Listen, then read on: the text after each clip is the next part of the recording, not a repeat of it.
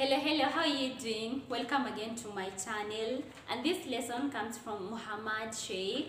And he asked me, teacher, we are waiting for a lesson on oral narrative. In this lesson, we are going to learn how to answer questions based on oral narratives and how to score the full marks. In most cases, the first question on this narrative section is always classify the above narrative. we you have two marks or one mark. So what is expected of you to do in this part? And you're supposed to do two things. You're supposed to identify the type of narrative and then give a reason for your answer. You're going to use the trickster narrative as our example. Trickster narrative. In your answer, you have to say to write trickster narrative and then give a reason for your answer. It's a trickster narrative because the hare tricks the elephant or the hare tricks the hyena. And the second common question is give features of the above mentioned narrative. So the narrative that we have mentioned in this case is trickster narrative. So we are going to give the features of trickster narrative. It has an opening formula that is long time ago depending with the narrative itself.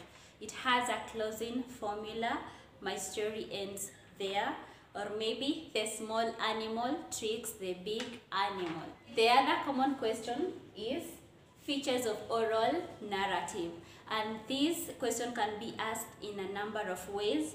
The first way can be identify features peculiar to oral narratives evident in the above story or how can we tell this is an oral narrative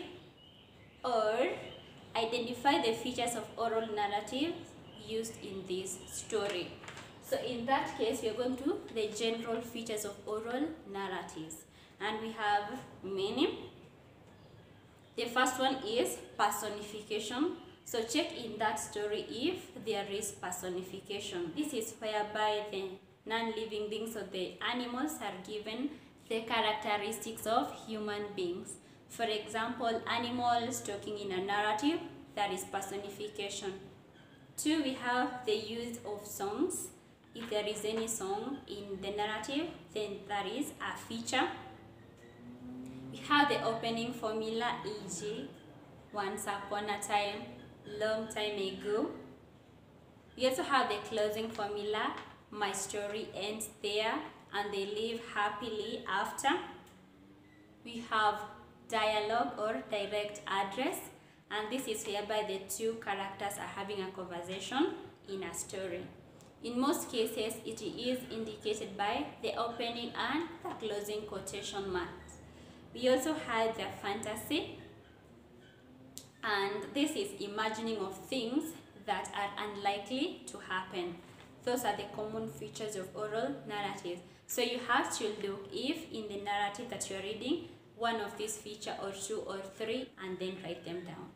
Picking not to confuse between the features of oral narrative and the features of the above mentioned narrative. Next question. If you were to narrate the above story, how will you make it interesting? Or how will you capture the attention of your audience? And we have non-verbal cues.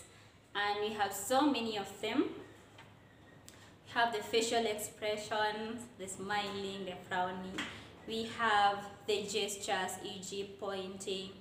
We also have dramatization, whereby you can walk like a certain animal or you can walk like a drunkard person. There is mimicry, whereby you can imitate the voice of someone or uh, an animal in a certain narrative. And we also have body movement, among others. So if they ask you to do that, you have to read your narrative carefully and then identify is there an instance that you will need to dramatize? Is there an instance that you will need to mimic a voice? Is there an instance that you will need to use any gesture, e.g. waving, uh, pointing, and so on? Will you use the body movement? But how are you supposed to write your answer? Let's say, for example, in our story, we needed to dramatize. You have to say, I'll dramatize how the drunkard person walks, that is while staggering, or I will point the sky if the, your narrative is mentioning that, or I will mimic the voice of a certain character in the narrative. You're not supposed to be general, like I will use appropriate facial expression, I will use appropriate gestures, I will use dramatization. Make sure you specify from the narrative. The other possible question, how to involve the audience in your narrative. And I'm gonna give you two ways. First, you can involve them by using a song or you can involve them by asking a question. Those are two ways. And you also have the, the question on the moral lesson and take note of this. When you're giving the moral lesson, it's supposed to be in positive form, not in a negative form. For example, if you say, we should not be foolish like the hyena, that is a very, that is very wrong.